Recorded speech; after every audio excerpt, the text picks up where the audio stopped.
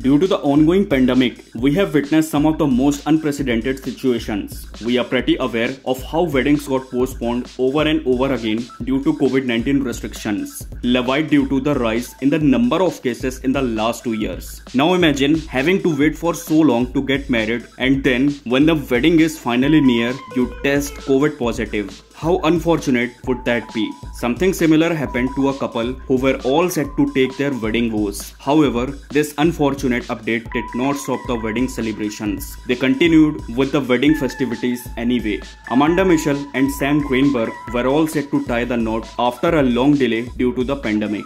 Just a few days before the wedding, Sam tested COVID positive. They just had one option left that was to postpone the wedding again. However, they chose to take the fun route. Sam wasn't there at the wedding party, but his cardboard cutout saved the day.